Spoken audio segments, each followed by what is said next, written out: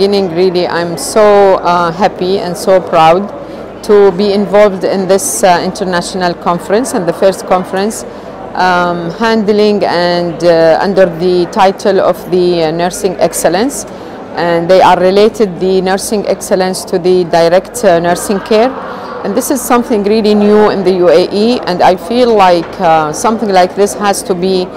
generalized to the whole UAE. Um, uh, thank you very much for inviting me to be part of this conference. And to my knowledge, really the excellence program or the excellence concept has to be integrated within the uh, healthcare services and the nursing care has to be, it is an interdisciplinary, interprofessional, uh, uh, um, you know, uh, services that has to be all over. We know that the nurses, they are working 24 hours in all the hospitals taking care of patients. So that kind of integration and interdisciplinary with other medicine and the other allied health, it is really very important. Uh, I wish the conference all the success and uh, I, I, hope that one of the recommendations to be uh, to generalize uh, this concept to the UAE uh, in general and uh, also to monitor the progress and the outcomes of such conferences and such